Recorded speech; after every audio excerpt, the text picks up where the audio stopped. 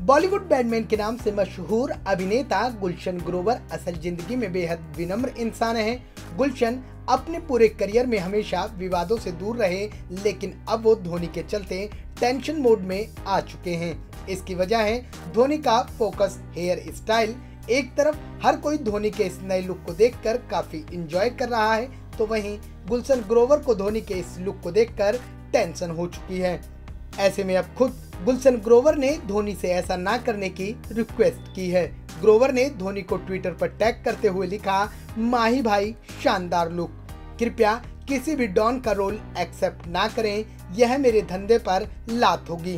पहले से ही मेरे तीन सबसे प्यारे भाई संजय दत्त, सुनील शेट्टी और जैकी श्रॉफ मुझे इस बिज़नेस से बाहर करने के लिए ऐसा कर रहे हैं, लेकिन तुम ऐसा बिल्कुल मत करना।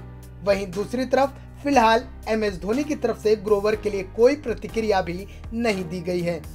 यह देखना बेहद दिलचस्प होगा कि एम एस धोनी गुलशन ग्रोवर के इस मजाकिया अनुरोध पर क्या प्रतिक्रिया व्यक्त करते हैं।